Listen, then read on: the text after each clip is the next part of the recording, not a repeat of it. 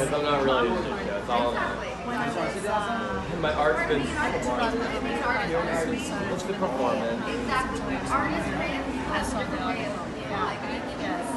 Um, there's like that has So it's like a sacrifice that you have to Oh my do. God, and I They say when you're ready to step into the spotlight. I mean, how do you think about that stuff? How do you Well, you know, I'm a daydreamer. So I'm always, I'm constantly thinking of video concepts.